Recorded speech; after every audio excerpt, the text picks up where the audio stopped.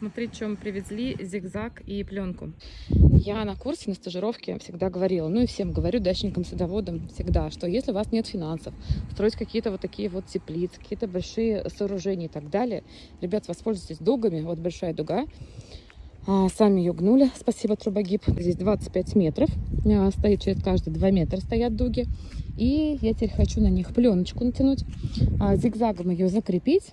И получится очень бюджетная большая теплица. А, мне это надо для того, чтобы разогнать быстрее клубнику на усы, да, чтобы до октября уже отправить там все заказы, справиться с заказами. А кому-то, возможно, такая ну, теплица на скорую руку, скажем так, достаточно бюджетная, просто может пригодиться у себя на участке.